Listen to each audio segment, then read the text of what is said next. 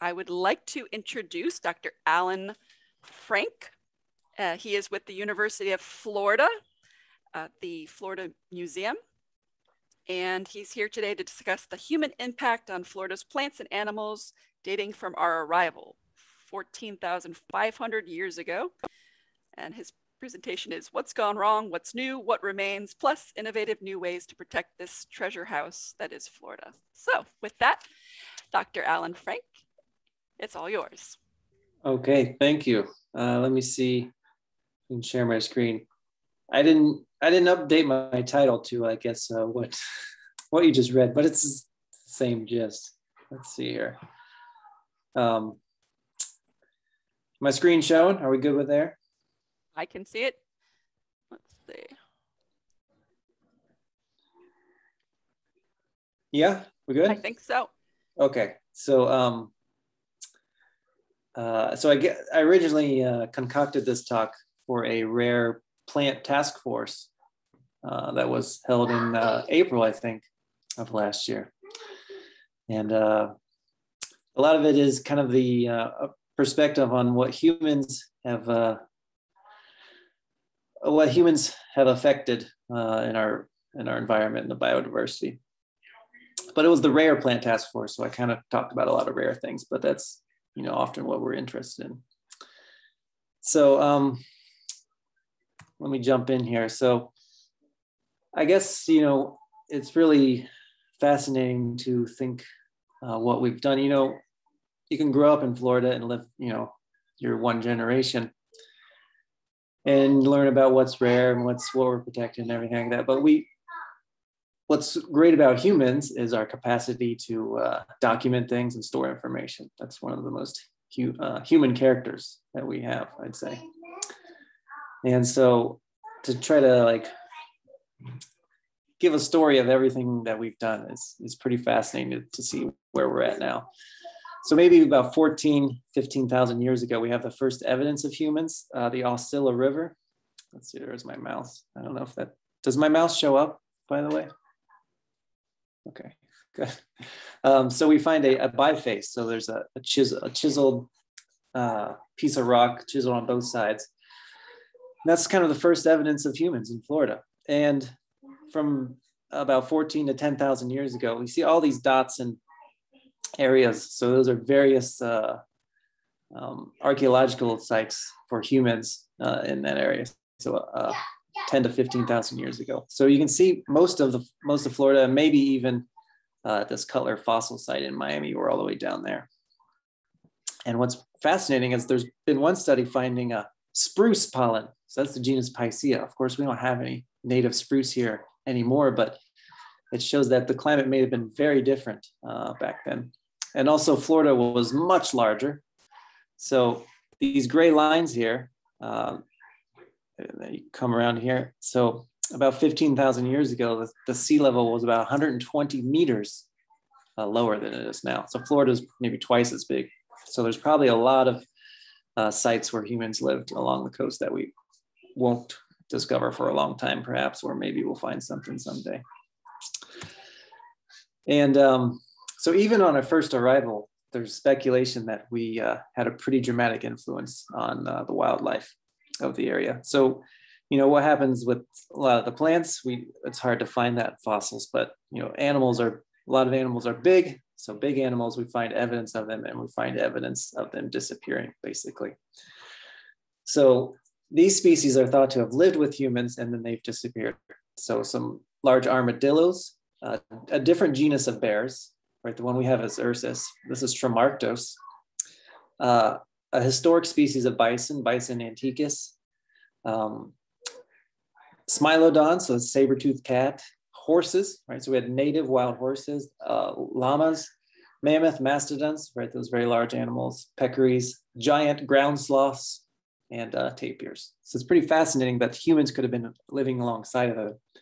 and then suddenly they disappeared. Um, there's it's it's hard to speculate exactly what happened, but humans probably had some influence. But it was also a time of a very dramatic shift in climate, uh, where uh, it got much cooler very quickly. So it's guessed that over just a few decades, the uh, average temperature dropped several degrees. So that kind of um, that kind of ends our little chapter on 10, about 10,000 years ago. Uh, after 10,000 years ago, uh, we kind of have a short disappearance of humans. Uh, we, don't find evidence of them. Maybe they were confined to the coast and it was a really much colder climate.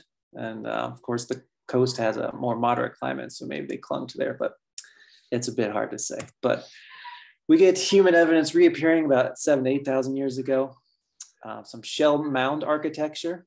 So we see a lot of that, and that has some really rare species, some fascinating things.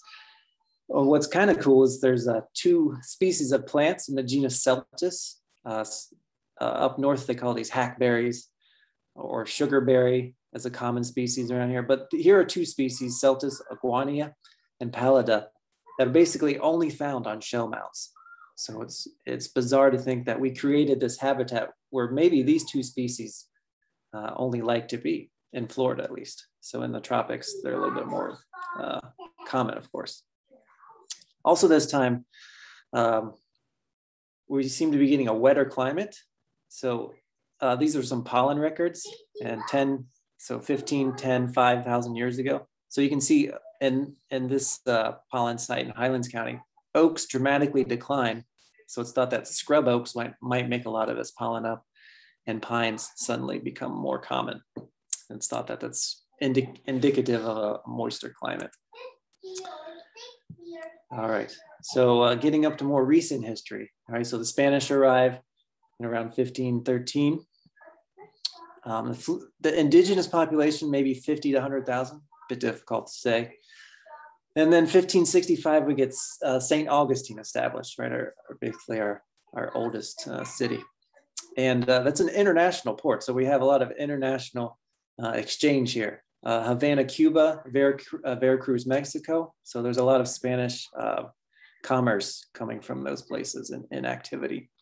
And about 100 year later, years later, we've um, Europeans have disseminated a lot of uh, diseases, and that's running rampant in indigenous populations, smallpox, malaria, measles, to name a few. And of course, citrus, cattle, and pigs have been introduced, and they're becoming a little more established on their own right. And uh, strangely, the, the bison species that uh, live now in uh, the US makes an appearance in North Florida. And it's not really clear if it's uh, if it was here historically before then, or it's just kind of adapting to some sort of disturbance, but uh, there was some bison around North Florida. And then in the 1700s, we lose our indigenous population basically. Um, some of them might have gone to Cuba. Um, most probably died, uh, but we, we don't really have any evidence of them uh, in any current humans. It would be uh, really interesting to see if uh, we can find some trace of their lineage in, some Cuban, but we don't really know uh, of any traces of them. And um, so, but the Miccosukee and Seminoles, uh, there's their roots start to begin as they're pushed down into Florida. Uh, Bartrams come through, so we're getting some uh, biological, uh, you know, natural history inquiries. But uh, not only we lost our the indigenous peoples, but probably any crops they had were gone. Of course, they probably subsisted a lot on fishing and so forth, but there was certainly some uh, cultivation of uh, crops like corn and, and some beans. And then, so this was mostly, you know, Spanish and then British rule, and then and back to Spain. And then uh, USA declares its independence. And then Florida becomes a US uh, territory in T22. So here I got this graph where I'm going to uh, depict a lot of events, uh, kind of overlaying the population growth in Florida. Um, Treaty of Moultrie Creek. So that was establishing a large land reserve for uh, uh, Native Americans, which of course eventually got pushed out of that area as well. Alvan Chapman. So this is our first botanist that lives in Florida and works uh, with a very serious intensity. So uh, before that, we really didn't have a lot of people collecting specimens, you know, documenting the flora in that way. Maybe, you know, we have write, writings, but here uh, this guy lives uh, in, around the Quincy area in the Panhandle, uh, Apalachicola area, Gadsden County, and um, he just uh, he lived there for about 60 years and, and, collected a lot of specimens. So that was one of our very first serious botanists. Uh, here, but Henry Perrine, so just to show some activity in South Florida, he's he did some things in the Keys and brought the the sisal agave uh, as a uh, uh, hoping that that might have uh, some commercial scale to produce agave fibers for clothing and rope and so forth. And um, to give a sense of kind of, you know, the mindset of establishing uh, populations in Florida. This was an act um, from the Senate in 1832 promoting uh, the killing of any wolf, bear, tiger, or panther. So I, am not sure if tiger was applied to other animals or if uh, it kind of sounds like they just didn't know the territory enough and they thought, well, if there's tigers around, we want to kill them too but this was a monetary compensation, right? So if you had any proof of killing these, uh, right, you got money. And the you know the idea to promote a better habitat for you know uh, cattle and and establishing um, uh, a human population in the area. And uh, you know, of course, uh, we're losing these predators by killing them, but uh, you know, even in the mid 1800s in Tallahassee, you know, you have the panther, right? We think of the panther as as being strictly almost uh, the, in the Everglades these days, but it was throughout the state uh, back then. So this was an account of uh, a few people getting attacked by a panther and those people dispatching the panther.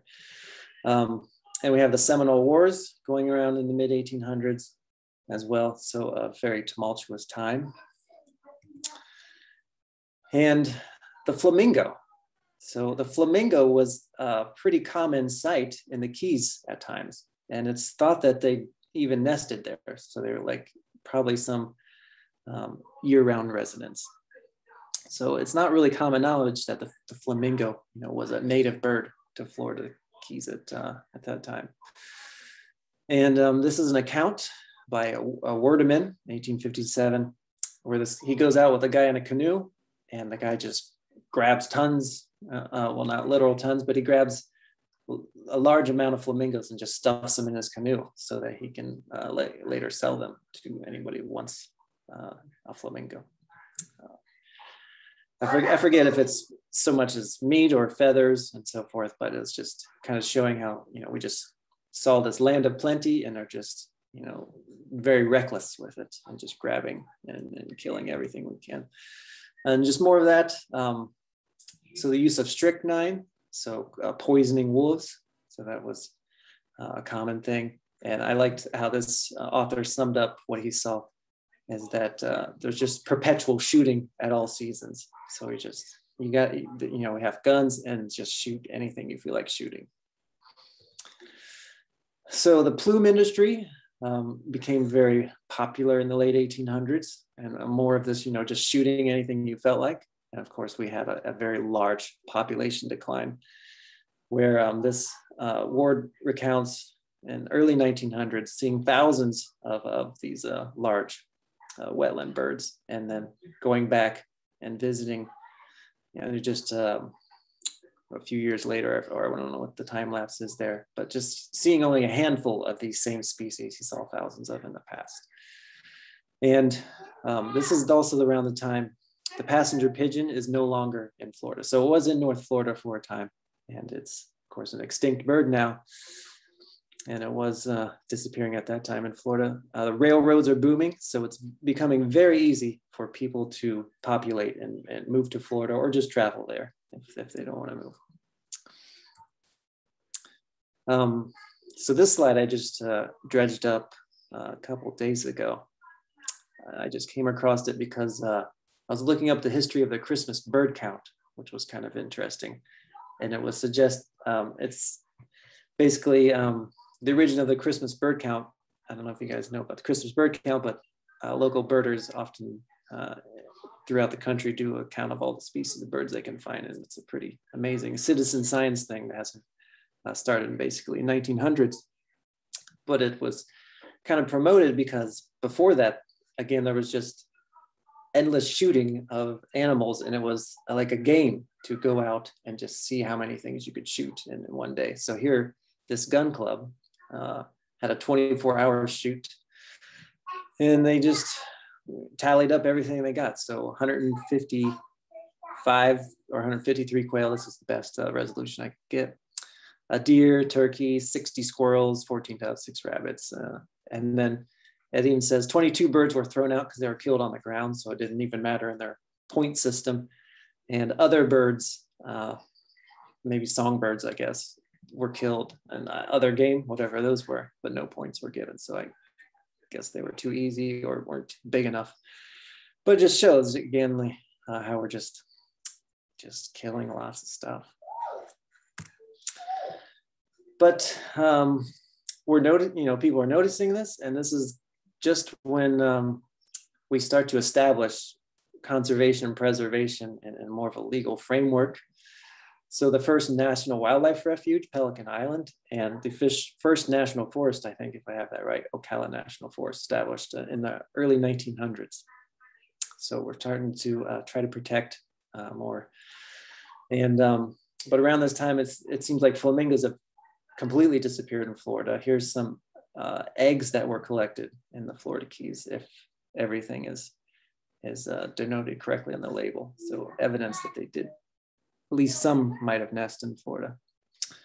Um, and around this time is when we get uh, John Kunkel Small, a very famous botanist. So he discovered a lot of uh, new species for Florida, describing them or just uh, discovering their presence here. And uh, also around this time, we have David Fairchild. So he's a famous uh, botanist of South Florida who established a lot of um, new species to cultivate, like mangoes, avocados. He was really into, uh, you know, what fruit crops we could bring. And uh, here's a picture of what uh, they called a highway back then. Uh, maybe they're just any road that's well traveled is a highway, but uh, I love the scenery to think that, you know, this is what a highway could have been back then.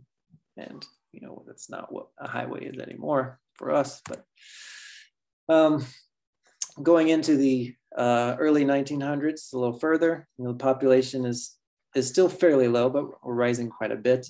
Uh, so we start to make canals. So now we see South Florida as ha having a large potential for agriculture, and it's we just start making you know these enormously long uh, canals to um, drain all the water out into the sea or the bay or the Gulf. And uh, completely fascinating how you can change a huge wetland like the Everglades like that so easily. Well, maybe not so easily, it's a lot of work, but um, 1914, so we have World War One, so kind of important to see what global events are happening. And the Zamia, so the Coontie, the Coontie plant, which is very popular in cultivation these days, uh, was being harvested uh, in incredible amounts for its starch. Uh, so it is a poisonous plant, but if it's processed uh, efficiently, you can get a edible starch out of it. And this was especially prevalent in Miami. So it's amazing to think about how much Coontie was in the wild and these wild pinelands, especially in, in Miami, which there's still some there, of course, but how much used to be that back then is amazing because there are reports of them churning out tons, literal tons this time, of starch per day. I, I, can't even really fathom how many plants that is and how much uh, is just being dug up. And in Miami, it's a lot of uh, limestone. There's, it's not really sandy down there. So that was a lot of hard work to get these uh, subterranean stems of Zamia out of the ground. It was pretty remarkable. I'd love to see uh, uh, how that was all done. I guess pickaxes and whatnot, but backbreaking work, it sounds like but still there's a mentality of you know shooting anything. Uh, here's a pine snake. Uh, this this fellow was with a local resident and he saw a snake and he just shot it. He said why'd you do that? You think i want to get bit? So treating every snake as a venomous you know uh, enemy which of course we know that's not the case but it's it's you know a lot of times we teach just you know be afraid of all snakes be afraid of all spiders because we're not that good at identifying them perhaps. So it's understandable to have that perception, but you know, uh, wildlife education is a good thing for you know, stopping this kind of behavior. And uh, 1915, 1924, we, we start losing more species. Um, Baccharis dioica, so the common name of some common species are groundsel bush. These are some shrubby asters. Uh, but there was a species in this area of downtown Miami that was uh, fairly common probably back then based on records, but we can't find it anymore.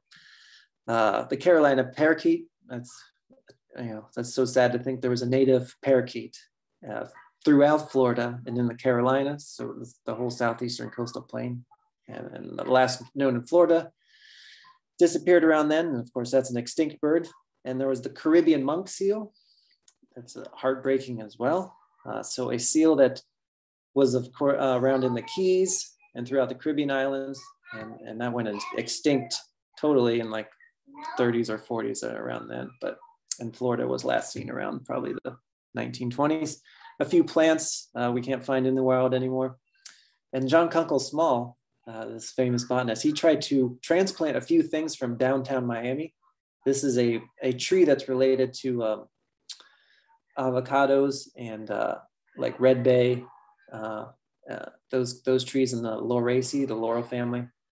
Uh, it's a it's a rare tree down there. It's still there in, in down around this park in downtown Miami. But he no, noticed even in the 20s how things were just being you know bulldozed and, and destroyed and he tried to transplant some of these uh, even back then. Uh, see what, so um, more disappearance, the ivory-billed woodpecker, another extinct species, uh, you know, in a lot of old, uh, large, old growth forests perhaps. Um, right, they've tried to search for that woodpecker in Louisiana and so forth for a long time, but it seems well established that it's extinct. So it disappeared from Florida. It was uh, occurred throughout Florida, basically, uh, historically. And a wolf. So there's, I was talking about, you know, poisoning wolves and shooting wolves. Well, we had wolves, we had native wolves in Florida. And the accounts of them are usually as these uh, very black, uh, pigmented hairs, uh, American black wolf, if you will. Uh, here's Bartram in the 1790s describing them as perfectly black.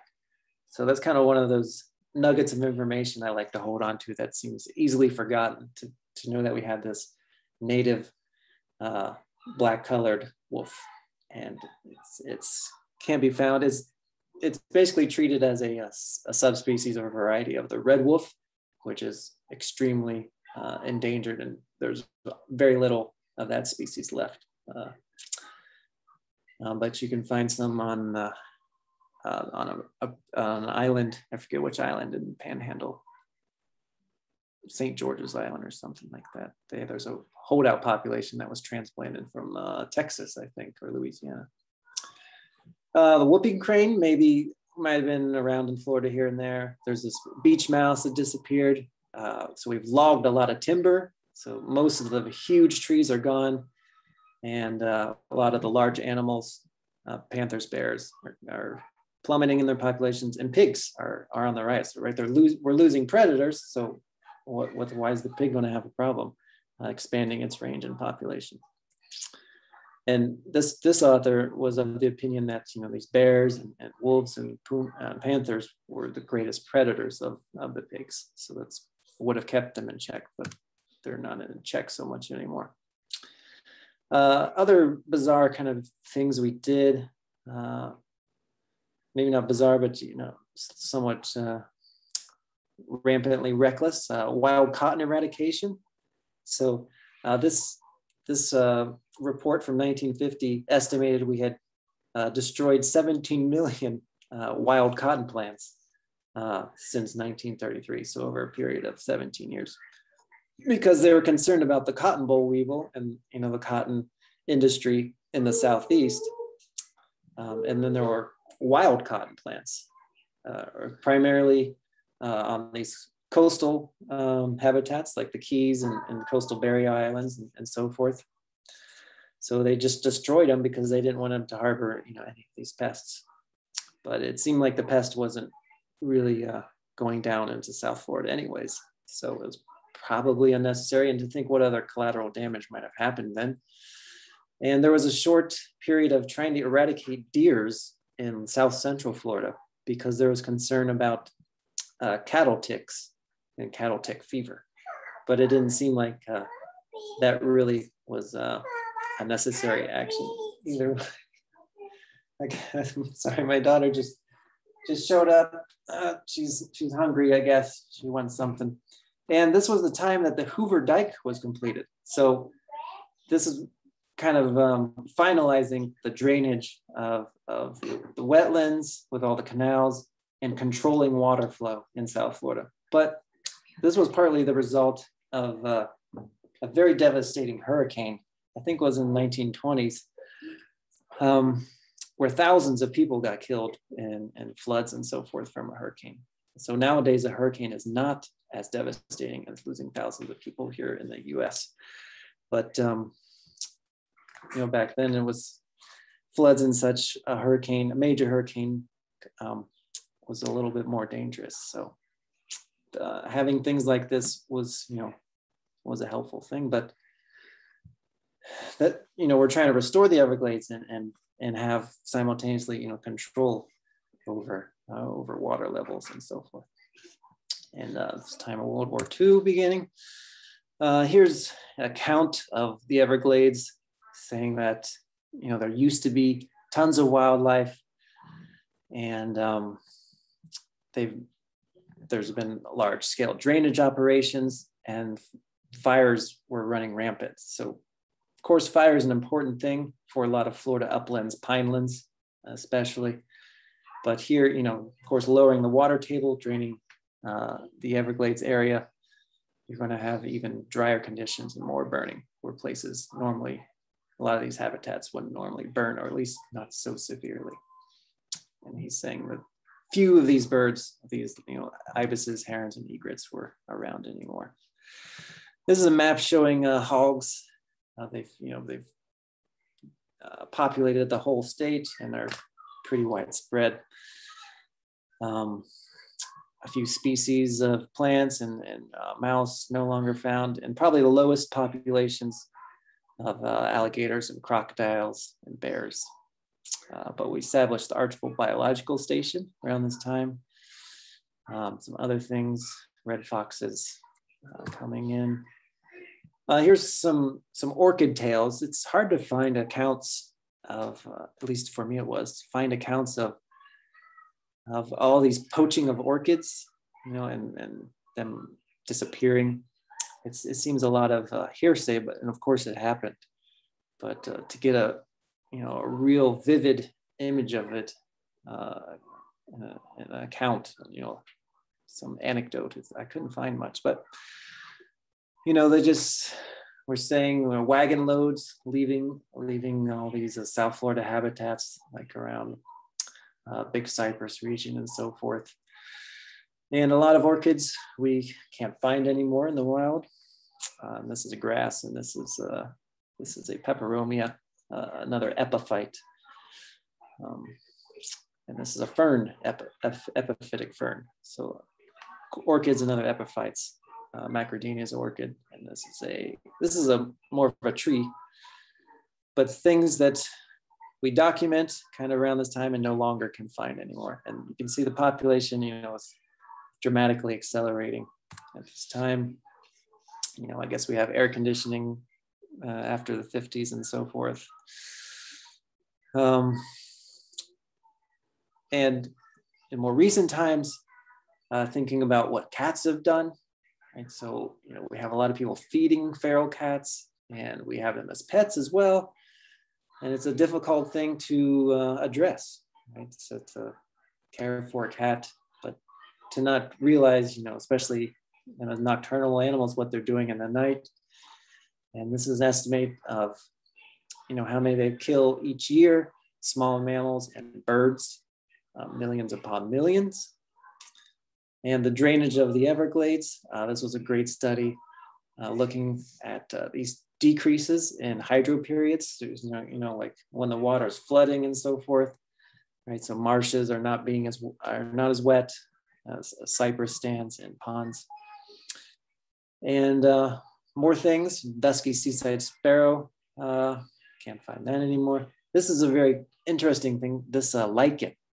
So this is a, you know, a fungus that has a, an algae as a photosynthetic uh, symbiont partner in this relationship. And this was just described uh, a year or two ago. So we didn't even know it as a species until a year or two ago. But our documents of this species only go up into the 80s, and now we can't find it. And this was uh, something mainly around uh, Ocala National Forest, so North Florida. Uh, so maybe it's still around, but uh, as far as we know, we can't seem to find it. Um, coyotes, right? So coyotes are also invading Florida. Uh, so we've lost a lot of our larger predators. Uh, so now there's room for other predators, uh, a larger predator compared to some things, but still a fairly small canine coming throughout Florida. So, you know, we've probably read a lot of these very sad uh, accounts of things, you know, defaunation, the loss of, of all these animals throughout the world dramatic insect declines, and we have some lost some plants uh, in the continental US and Canada. And uh, introductions, so not just losses, introductions. I did a study trying to uh, count how many different plant species have been brought to Florida. You know, not just the ones that have naturalized, but things we've cultivated, even in greenhouses, you know, specialized places and botanic gardens, all that. So I estimated maybe around 9,000 uh, plant species brought to Florida, you know, in recent times by us in the you know past hundred years mostly, and um, about 1,500 uh, have been become naturalized. Of course, that includes things we don't intentionally bring, just weeds that might have been uh, uh, attaching to our socks or something like that. But so that includes everything. But you know, maybe one 10 or 15 or so uh, naturalized, and then maybe one uh, or two uh, out of 100 probably uh, become what we might call invasive, you know, like the Brazilian pepper. Right? It's invasive, it's everywhere. It's invasive in natural, nice habitats that we don't even have, have not even disturbed that much. And then think about all the reptile introductions, especially South Florida again. Um, I gotta move my window, I can't see everything here. So we uh, over 100 reptile introductions and about half or so, a little less than half established, right? They have established populations. Uh, when I was living in Miami just a few years ago, had iguanas in my yard um, all the time. Sometimes they were destroying things I planted, which was a little aggravating, but uh, lots of anoles and other small lizards down there. And then honeybees. All right, so, you know, I love honey and uh, we often report on you know the decline of honeybees or colony collapses but there are also you know introduced species that have basically followed european uh, establishment in this country and you know that's it's not a good thing necessarily for everything else like native bees and, and other native insects right it's amazing you can find honeybees in so many places you know in, in a coastal hammock um, they just seem to be everywhere. And uh, it's something that native wildlife has to compete with. Uh, whoops, there we go. Uh, so a summary of all these uh, things that I've kind of been mentioning. So, you know, before Europeans, pre-Columbian, large mammals extinct. What else may have been lost? It's hard to say. Probably other things, but um, even a bivalve, there's there's a suggestion um, some evidence that a mollusk uh, in the panhandle was around and then lost. And then since, you know, the past 500 years, a couple plants gone completely extinct four birds. So that was like the ivory-billed woodpecker, Carolina parakeet, passenger pigeon, and dusky seaside sparrow. So the monk seal's gone, uh, the red wolf, uh, the, the, the, melanized black version of that wolf's gone. Some mice, gophers, lichen, and I always I like to speculate about the crops that we've lost. It's fascinating. The indigenous people might have grown, and extirpation, so things that have uh, left Florida but still occur in other places. So like they might still be alive in the Caribbean or north of Florida, but mostly South Florida, we've lost a lot of plants that we can't find anymore. and flamingos and uh, uh, uh, the Zenaida dove, I think that was we lost too. So, uh, you know, lots of change. This map is just kind of showing what uh, the Florida Natural Areas Inventory and uh, NatureServe came together to show what they thought was what places were most at risk. So in these bright uh, yellowish colors, where there's a lot of biodiversity, and then there's a lot of you know human encroachment upon that biodiversity. So Miami, uh, the Pine Ridge especially has a lot of suitable human habitat. Right, it's it's it's like the highest elevation in Miami, but it has a lot of rare species. And then we have uh, you know citrus and and cattle, a lot of interior Florida, and a lot of really rare species along the Lake Wales Ridge a lot of rare species in the Panhandle, the Apalachicola region. So that's a kind of a nice map. But uh, you know, I talked a lot of talked a lot about a loss, but there's also a lot going for us, a lot of uh, protection. So these are a lot of entities that own and manage uh, preservation preserved lands in Florida. And you know, I've traveled a little bit in this world, and and coming back to Florida, I do gotta say I, I feel pretty proud of, of things like this, that not a lot of places have this much energy and effort and, and resources towards uh, protecting uh, their wildlife and biodiversity. And we got, you know, the Native Plant Society very active. But not a lot of places have all that stuff. So I think, uh, you know, we're doing good and, and we gotta stay focused and, and, and positive about all we accomplish and continue to do. And we even uh, increase our native plant diversity. So, and what I mean is, um, one of our first uh, comprehensive accounts of what species we had in Florida uh, listed about uh, 2,600 vascular plants, including uh, subspecies and varieties.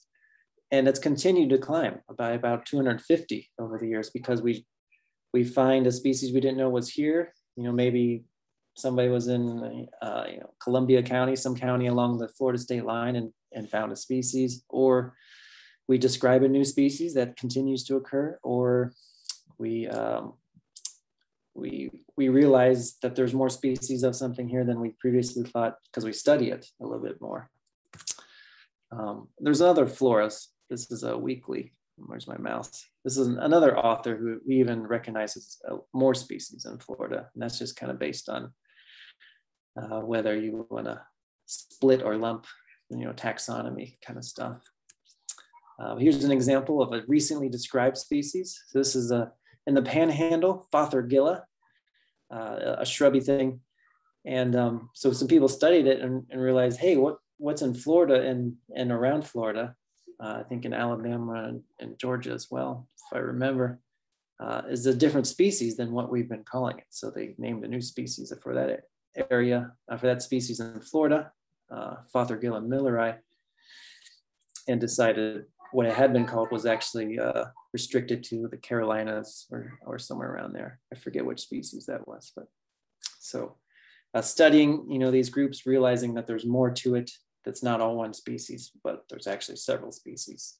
Uh, and here's uh, Scott Ward finding uh, Carex, so it's a sedge you know, something that looks kind of like a grass, not pretty flowers, but very diverse in Florida sedges and uh, doing some work in Gadsden County. So up in North Florida and finding some, a new a species that um, just barely gets down into Florida. And this cool graph, I'm hoping to publish this uh, this year, is uh, showing uh, a timeline of, of us describing the species native to Florida. So it begins with Linnaeus. So he's kind of you know the father of taxonomy, binomial nomenclature. So he described about 600 species that are native to Florida, but he didn't study any material from Florida. So he was studying material from the Carolinas and Virginia, and they just think happen to be things that also occur in Florida. And it wasn't really until uh, after the 1770s, and more so uh, when Bartram's came through and Andre Michaux came through, and Chapman started doing work that we really uh, had people going to Florida and describing species from Florida. And you can see this thing continues to climb. Uh, and it hasn't really you know, reached that plateau uh, that from that asymptote. So we're probably going to continue to describe new species. Um, I'm sure it'll slow down, but one or two years seems to be kind of an average over the past uh, 50 years. And this shows uh, how much uh, effort we put into botany in Florida. By that, it's, it's counting how many plant specimens. So herbarium specimens, so we go out and collect plants and make specimens out of them. We keep those in herbarium, uh, like a museum setting. And it's just showing that, you know, some places like Miami or Alachua County, where University of Florida is, or Leon County, where FSU is, we've collected a lot of plants. But other places like Hendry County, uh, very rural, away from universities and cities, we haven't done a lot there. There's probably more to discover, at least on a county level. And um, uh, Baker County, uh, Lafayette and Suwannee County, Glades County. So there's still a lot of work to do to really thoroughly understand um, Florida. And um, there's kind of examples of things we're still, um, you know, deciding what's rare and what's. Uh, here's a plant. Uh, it's a in the uh, cucumber family. It's not even endangered, but there's only one population in in South Florida.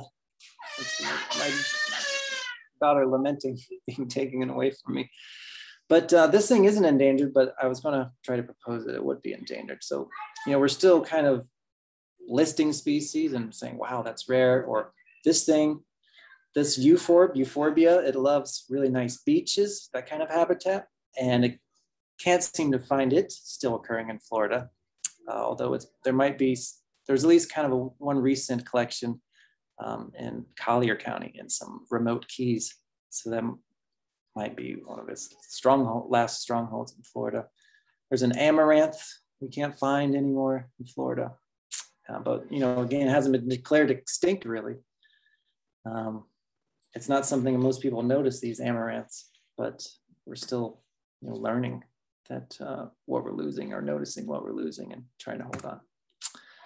And uh, this is just an example of some awesome work. I was in South Florida for a while, so this is just something I'm familiar with. But uh, uh, Fairchild Tropical Botanic Garden has this nice program where they give free native plants to homeowners that sign up. So you can get some pine rockland plants, very rare, very rare, cool stuff they give out because they're trying to, you know, promote native plants and establish a, more of a wildlife corridor and, and that kind of thing.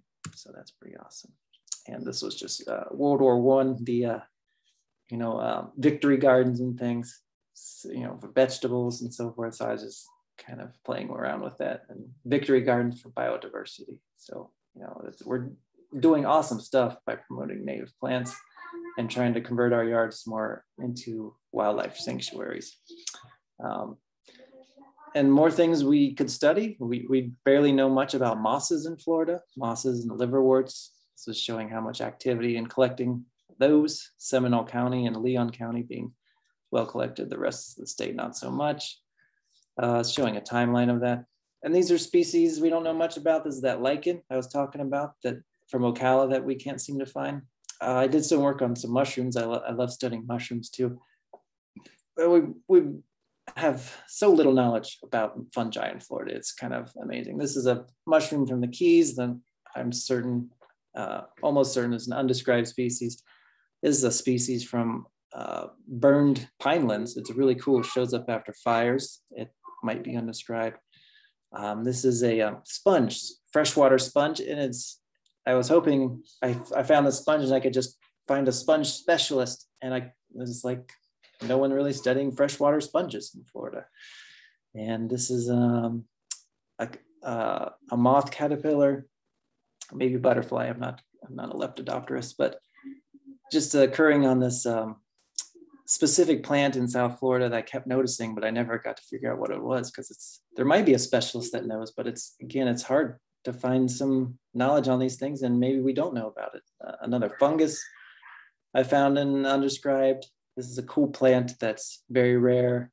It's a spider in the keys. I couldn't get anybody identified, but again, I didn't collect it and send it to a spider specialist. So it might be easy thing for a spider biologist. I don't know, but it's just you know, it's there's a lot of mystery out there still, a lot of mystery, and uh, you know, sometimes it's hard to argue why we say things like freshwater mussels. You know, most people aren't going to interact directly with a freshwater mussel. So I thought this was a cool paper. You know, he says most people would give mussels a value of of almost nil. You know, why would I care about that? But that's one of the great challenges that we have, and why uh, I, I get to you know have a cool job and love my job is to to study things like mussels or fungi or or plants and to transmit that special knowledge to other people um, that can disseminate it as educators or find value, you know, who can make summaries of the economic value of things. It's a very abstract thing to give mussels a, a dollar value, but you know, we're realizing more and more how much uh, biodiversity favors us for the most part. It's good for us. Um, so uh, there's just some cool studies about that, and that, for example, uh, sometimes in ecology they say a species can be redundant functionally, but I think that's uh, a very overly simplistic way to look at things, and that no species is redundant. It just doesn't make sense. Of course, extin- extinctions are, are natural in you know some way, but even then, once a species gone, it's gone. And you know, the human way of life is really to to retain information and possibility because you never know what we're going to encounter. So you know, why not? I try to save things. Uh, so just a few thing people to thank or institutions, but you know, there's hundreds of people that are thousands of thousands of people really, maybe millions, I guess. We're rolling this together, so I guess I got to go billions. But these are just uh, some of the entities. Uh, you know, I work for University of Florida and the Florida Museum now, so I'm grateful for their uh, support. Uh, I did a lot of work at USF. I was just at FIU three years prior. Native Plant Society, I've interacted with quite a bit. They're awesome. Fairchild does some cool stuff. Um, and uh, this is the Institute for Regional Conservation, really amazing uh, organization that's kind of keeping track of everything at a much more local level in South Florida. So like, you know, what species is no longer in Miami and so forth. So a lot of that knowledge is from them. Uh, this is some, my parents and step parents and, and children and, and my dog and, and my wife. So of course, uh, my family are, are a lot of the reasons I to uh, do the things I do and have the support that I do. That's my abstract. Okay, so I'll stop there. And uh, if you have any questions, I'd certainly love to hear them and hopefully have some uh, interesting answers for you. Oh, Aaron, you're still muted there. I'm still muted. Now I'm there. Okay, so that was awesome. And this is a we have some a short time for anybody that would like to squeeze in a question for Dr. Franck. Thank you for sharing that. You clearly have a plethora of of uh, research on on these things. I love all the little yeah yeah. It took a long time put all that together. I was okay. I was hoping to kind of publish something just in this vein, put all this stuff together because yeah, I couldn't really find a good synopsis of all these things. But oh, let's see. If anybody has questions, this is the time. Feel free to go ahead and do that in the chat. And um, I had one question. It was a, a slide, a couple of slides back. It was the uh, the dark and then the light orange colorings, the dark purples and the light oranges. Oh, this one? What did the dark purple mean? Oh, that's just, that's where they estimate that biodiversity is not so much at risk. Oh, it's not at risk. Yeah, the bright orange, yellow orange is where, you know, there's a lot of endemism, a lot of unique rare species. Okay. And then there's a lot of uh, human disturbance pretty much where that has to kind of be balanced with with these things. So Lake Wales Ridge, there's a lot of unique diverse biodiversity, uh, the Miami Ridge and the Apalachicola region. So that's so there's kind of like hotspots biodiversity. Um, yeah. Uh, but there's other areas like the Suwannee River um, that, that need protection too. The Okeechobee Gourd. So uh, I, I, haven't studied that one. Oh, I'm skipping a question. I see. Sorry. Um, let me just go with the Okeechobee Gourd real quick. So as far as I know, that's still around, but I, I honestly haven't seen it in the wild, and I don't know about anybody keeping up on that plant, which is um, a very interesting plant, and that um, its closer closest relative seems to be um, another plant in Mexico. So it's like, how did it get here? Was it by trade or was it actually native here? Um, but it certainly seems to be something that predated European arrival. But I don't have any recent updates about the Okeechobee gourd and what's happening to it. And we have another one here. It says, uh, when I was in Sequoia Kings Canyon, NP, where's NP? Uh, they, okay. Uh, they intimate, intimated that uh, sequoias grew in Florida. Do you know of that evidence? I don't know of any such evidence of ah. that nature. Maybe maybe longer ago. I mean, I've, I've I was only scratching into kind of the human history of Florida. So that 15,000 years ago. So maybe there's something further back then. I don't really know, but I had I haven't heard that myself. This has been uh, fantastic. I've enjoyed it quite a bit, quite a bit. And um, what is this?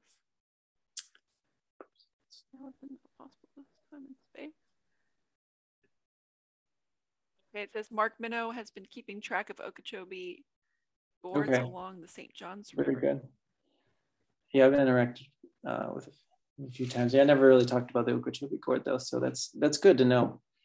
It's you know there's so many rare species to keep keep track of. So I uh, we're going to go ahead and we we um, if I'm not mistaken, we record this and save this. And you could you send um, a copy of that presentation to to myself, and then I, I think that's how it works. Uh, I'll I'll double check. But um, we're gonna I'm gonna I'm gonna be reading on some of this stuff because this is all new for me. So I'm excited to have this. Um, and it says here, I found out that endangered plants are highly regulated and require permitting for an indiv individual to grow. Would like to know your thoughts on why that is. Um, I mean, my understanding, and it's really the, the permitting process is harvesting in the wild. So, like if I want to study a plant, a rare endangered plant in the wild, I have to get a permit to harvest it to make a specimen or collect it for DNA analysis or whatever. But um, you know, they can be once you know once somebody has a, a plant and they're propagating it, it's pretty much in the legal framework from there on out. So um, there are a lot of, you know, we have endangered plants that are that are cultivated without any sort of permitting process that goes along with it. Um, like uh, I'm pretty sure this one's endangered. Uh, the um, what's the common? I'm terrible with common names, but uh, uh, yellow anise tree or star anise. Um, it's not really cultivated in in uh, like the Sarasota area, but North Florida and so forth. Illicium parviflorum is endangered, but it's extremely common as a as a hedge. Uh, it's it's planted as a hedge in Tampa. It's all over Gainesville as a hedge. So it's endangered, but there's really it's all over my yard actually. It's planted here before I got here. So it's not really regulated in the cultivated context there. It's just we're, we want to conserve bio, it's, it's a genetic diversity and so forth in this wild population. So you can't really just harvest anything from the wild like that. But um, uh, it says here, Erica is, is with me. She's fascinated by the talk, really enjoyed it. She's going to go back to the recording again to uh, glean more information. Mm-hmm. And I think this would probably be a good one for the last question. Also, even though coyotes aren't from Florida, would you say that they now play an important role in our ecosystem as one of the few apex predators? Um, you know, I'm not, I'm not uh, an expert on on on animal wild animals in Florida per se, but you know, coyotes are, um, you know, they're omnivores, so they're not, you know, really preying on large mammals as far as I know as much. So they're, I don't really know what they eat, but they're, you know, they're not that big and they don't, I'm sure they eat mice and things like that when they can. And they'll eat berries and, and all sorts of things really. But I don't really know that much about coyotes to, to say much more. But I was kind of suggesting in my talk that they've replaced the larger predators. So uh, as you phrase your question, it, it does seem like that's kind of what's happening in a way, but it, you know, it's hard to say. But yeah, basically, you know, panthers, very large predator, and the, the red wolf was a very large predator, and the wolf gone, uh, the panther almost gone, except now in South Florida. Uh, bears have some nice populations, you know, in Ocala and uh, big cypress region, but they were of course much more widespread and, and, big predators too, also omnivores. But you know, those are kind of three big ones that have largely reduced their numbers. So I would guess that would make more room for coyotes. I mean, there's got to be some competition there. Um, well, I once again thank you very much for being here, taking time to be here for all of your research and your sharing for today. Um, thank you. All and, right. Yeah. And I look forward to seeing, I might see your name on that graph that you showed us, finding something new to donate oh. to our, our, knowledge. Oh yeah, that, that graph was just, uh, where was just to kind of answer. I mean, that was just kind of the, the major players. So yes. I've kind of you know done some plant taxonomy in Florida, but uh, these were like people that had I described 50 or more or something like or 20 or more. I don't I don't remember what the cutoff was I used, but I don't, I don't think I'll ever make it in these ranks because there was it was more of a wide open landscape for botany then, but but yeah, I, I do try to contribute in my way as well, of course. But I mean, you all are by being part of the Native Plant Society. It's it's exactly good thing. And I liked the effort um, that um, you had mentioned also about the developers in South Florida offering free natives. I like that. That sticks. I think. Oh, it's it's not. They're not developers. It's a. It's the Fairchild Botanic Garden. Oh, it to um, new to people that move into the area. Well, no, just anybody that lives there, basically. Oh, um. Um, yeah, I don't I don't know if you necessarily have to be I forget if it's a homeowner or not precisely, but the, yeah, the idea is that you would be planting these things in your yard or you know or something like that and trying to develop a little more pine rockland habitat. But there's a few things that aren't strictly pine rockland, but um, yeah, it's the botanic garden, and uh, you just sign up and you get, get one free round of plants. So I got some things I had never really seen before in the wild, so I was excited to me just to have these plants to see and study. But, yeah, uh, it there's you know, ideas. There's a lot of similar things. There's native, you know, a lot of native plant nurseries that sell things, and there's other initiatives, people yeah. giving away plants. That was just one I was familiar with. So sparked some fun ideas. Yeah, yeah. Mm-hmm. We're Allison Bishop. She's saying the FSMP can do that event and uh, partner with something like Selby or the county. Good idea. Maybe yeah, spark something. Good idea. Great, great ideas to be had there. So, um, well, thank you. And um, a reminder to everybody that, like I said, there's that field trip coming up on the 20th. It is at, uh, what did we say, Braden Woods, and um, carpool if you can. Also, there's the Fire Fest on the 29th. And then our next meeting is Justin Bloom from Suncoast Waterkeeper and he's going to be doing a, a, tour through local waterways to discover how Suncoast Waterkeeper protects and restores them through enforcement, fieldwork, advocacy, and education. So that's coming up on the 21st of February. You guys are all welcome to come back. I hope to see you then. Maybe I'll see some faces at the field trip. I'll be there and Firefest. So with that, um, I think we're good. All right, guys. Any, uh, we're good? I guess that's it. I missed one day we'll be in person again and I can see your faces all and uh, we can go back to our natural ways. but until then, thank you for being here. All right. Thanks for having me. Thank you. Bye bye.